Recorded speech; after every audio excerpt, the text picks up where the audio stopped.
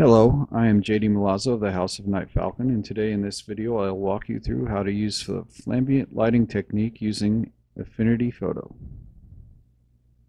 For demo purposes I will be using an architectural interior photo from a recent commercial project we photographed. This photo was taken while shooting tethered using Profoto strobes and a Pentax 645Z medium format camera. We took two exposures, one metered for outside and one properly exposed for the inside, and I will show you how to merge them together seamlessly.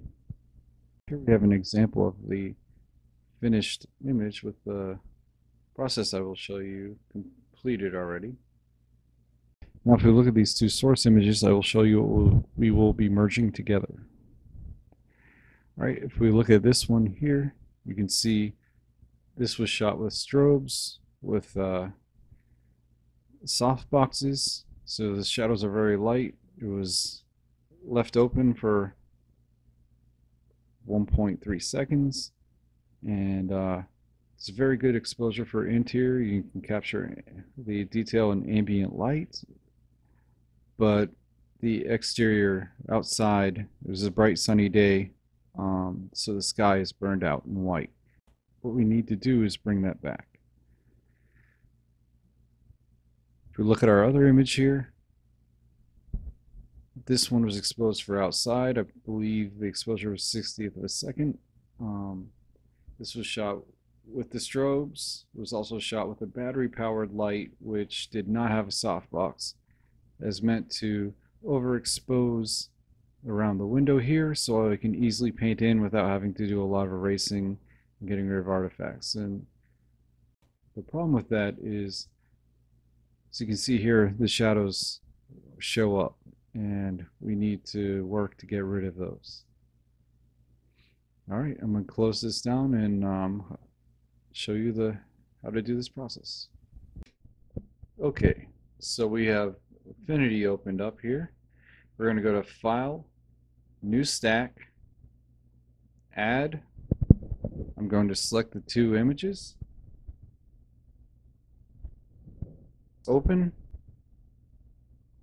Now here, these photos were shot on a tripod. The only thing that's different is the exposures and the lighting.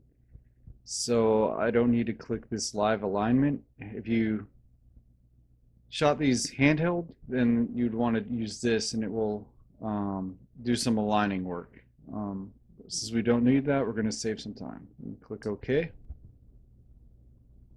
All right, so it has created our merge here. You can see our live stack group. If we click here, it will show us the two different source images.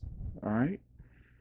Now you can see here it did a decent job overall, but as you can see, the sky outside is still overexposed and we see some shadows here. Um, so more work is still going to be needed. All right, so we're going to click here on stacking operators Right now it's set to median. We're going to go through and see what the other options here to and which one we want to select for this project. Usually for something like this, I go with minimum, so that's what we're going to click on here. All right, now, this did a really good job outside and overall pretty even exposure. What we've lost is ambient lighting detail, and we have this, some of the shadow issues. So what we're going to do is we're going to paint that in using a brush. All right, so this is how I'm going to show you how to do that. All right, so what we need to do, we're going to click on the brightness level, and here on this source, we're going to duplicate and then drag it out of our stack so it's sitting on top. All right, I'm going to call this, name this layer just for organizing purposes. I'm going to name it lighten because that's what we're doing. All right, now we're going to go here and we're going to go on the merge and lighten. So wherever this photo is lighter, um, what we're going to do is when we paint on, it will replace. So namely the shadows. All right, so I'm going to hold down the Alt button, Click mask layer. And this has put on a layer mask. So now we're going to go over here, paintbrush. All right. Click on that. Now usually for doing this, um, opacity 100%, flow 25%. We we don't want a very hard, we don't leave hard artifacts here, so hardness is at zero. All right, now we want to make sure color. We want to flip the main color to white. That's what we're going to be painting on for our mask. All right, so we just go ahead and start doing the work here.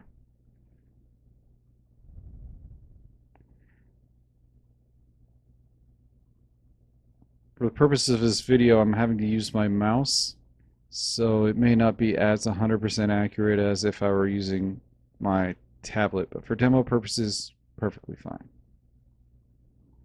So paint in here, as you can see, it's bringing in some of the coloring and lighting from the recessed lighting here. So go ahead and paint.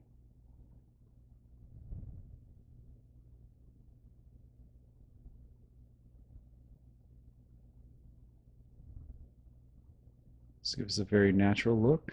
We have some shadowing here we're still working on. So rub that, uh, paint that out. There's some shadows here. Go ahead.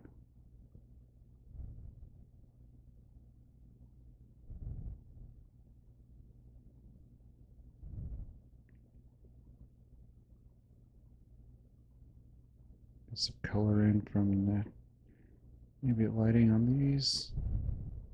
Do the same here. Some nice, some nice color back to this image. I'm gonna paint this, get rid of this shadow here.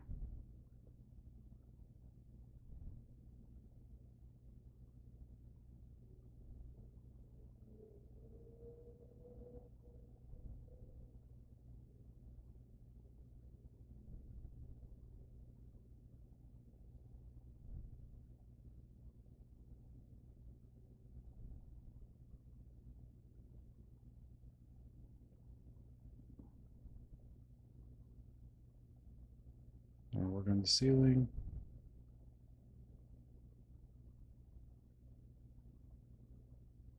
One important thing I always remind myself to do which is to lift up on the pen or mouse so that if you make a mistake, you can go back and undo. If you paint on for too long and make a mistake, then you're going to have to cover your ground significantly.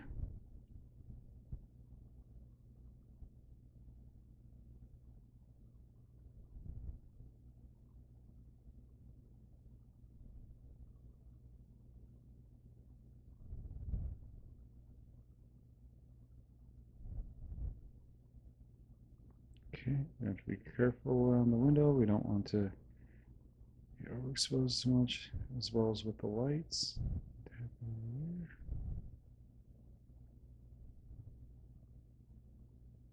Let's put the shadow here.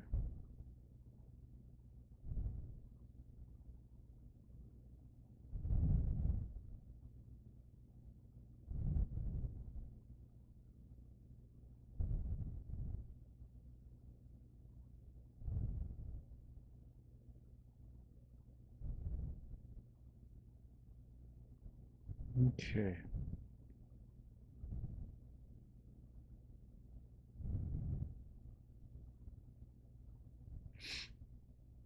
All right. Um, now, I think I, I missed over here and I accidentally painted a little bit where I want, where I don't want to add brightness. So I'm going to click on the er, eraser here. We're just going to paint back.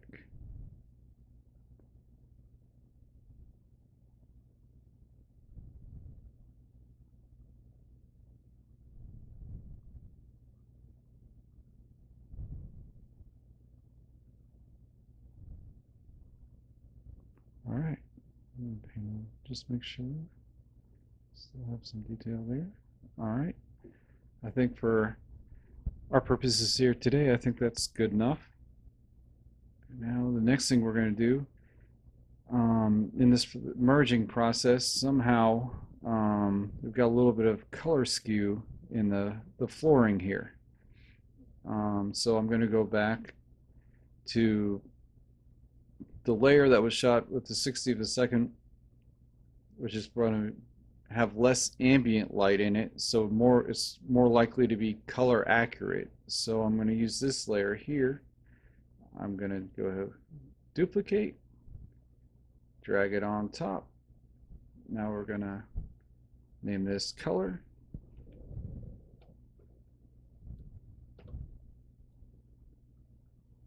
All right. Do an alt mask. Now we're going to paint.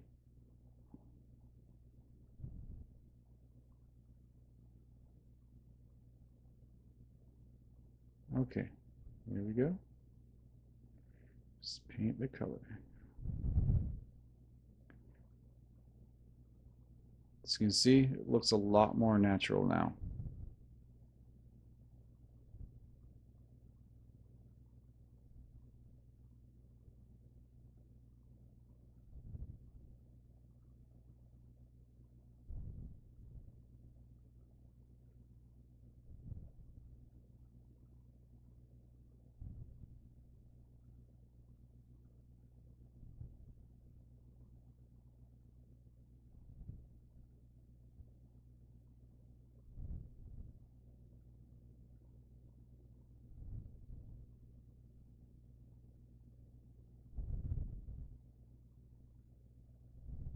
Okay.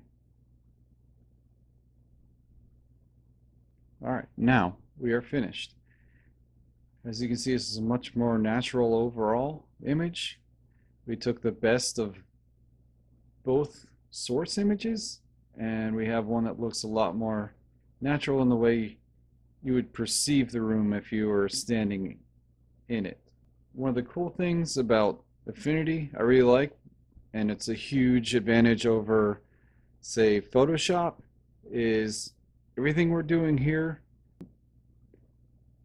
is they're on non-destructive layers so whatever I'm doing with the painting of masks in Photoshop once I close this or once I click on this layer it just I just lost all those changes I can't I can't erase out if I if I notice I painted over something that I, where I wanted detail. Too bad. You gotta start all over, copy paste, and um, do a new mask. With this non-destructive layering, I can go ahead and say I missed this area and paint over it. It saves that. Real easy, really awesome. Thanks for watching this video and I hope it helped.